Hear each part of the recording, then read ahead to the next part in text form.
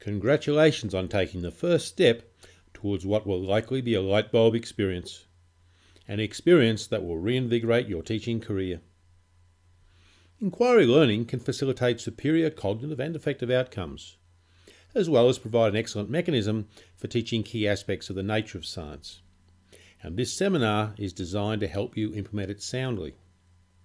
Are you confused by the use of terminology in scientific investigations? Terms like hypothesis, prediction, and conclusion?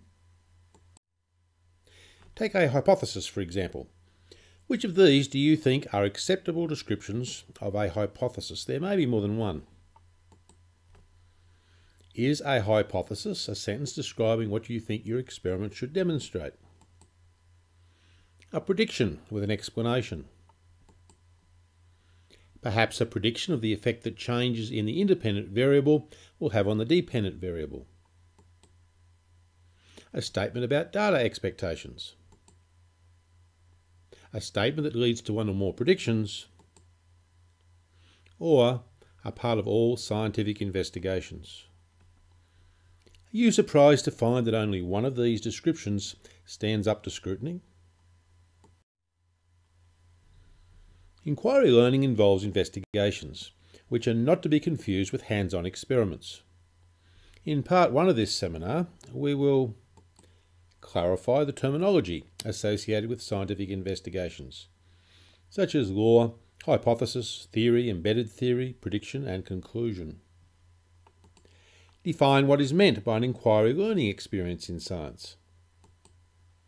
Consider the distinguishing features of science and define the term as a basis for distinguishing between scientific and non-scientific claims and explanations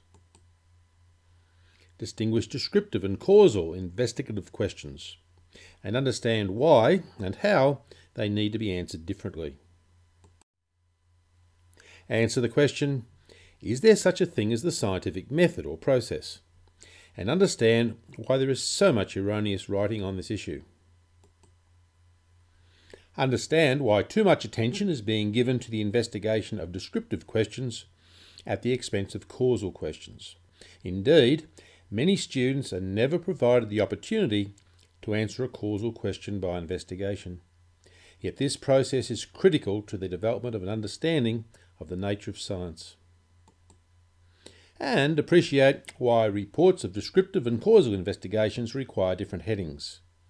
Why a hypothesis is not needed in every student investigation, and why some investigative reports require a summary of results only while others require a conclusion. Consider this investigation, which parallels an activity found in a contemporary curriculum document. Assuming the experimental methodology that was employed is fine, what shortcomings do you see in the pedagogical approach that is adopted? The aim of the investigation was to determine if the quantity of water affects seed germination. Students were asked to research the factors affecting the germination of bean seeds, plus the associated explanations. They hypothesised that germination will be better under moist conditions than when seeds are dry or fully immersed. The students then designed an experimental methodology that comprised seeds on dry filter paper, seeds on moist filter paper, and seeds fully immersed in water. The experiment was conducted and results collected. In the discussion, students said that their results agree with their hypothesis, and they concluded that germination will be better under moist conditions than when seeds are dry or fully immersed. This is a very poorly conceived investigation and report. There are problems associated with five of the seven steps, and this includes the misuse of terminology. This seminar addresses these issues. In part two of the seminar, we will consider the different levels of inquiry, sources of confusion about inquiry learning, and the shortcomings of unguided inquiry. Address misconceptions associated with open inquiry. Overview the different types of 7E learning cycle descriptive, empirical abductive, and hypothetical predictive. And see how inquiry can be employed in different time period contexts.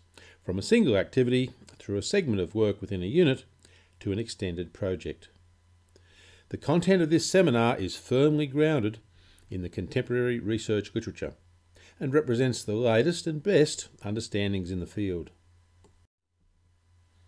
Included in the seminar package is a narrated PowerPoint slideshow, further written materials that comprise a concept map, glossary, ideas for implementing a 7E learning cycle, inquiry classroom management checklist, categories of assessment instruments, classroom participation rubric for peer assessment, and advice for designing a performance task rubric.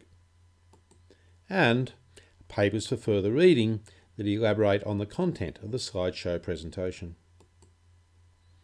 In addition, email and phone support, which includes me phoning you in Australia or other selected countries, is offered at no additional cost. This seminar is being very well received around the globe.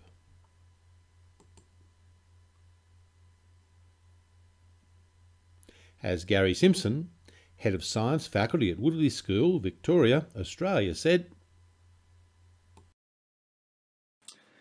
The paper titled Understanding Hypotheses, Predictions, Theories and Laws, written by Peter Eastwell, should be read widely, and the whole debate of what constitutes a hypothesis, a prediction, a theory, and a law in science needs to take much more central place in science education training and science courses in general.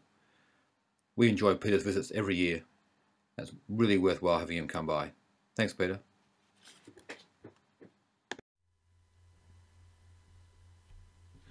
For further information about the presenter, please visit www.sciencetime.com.au.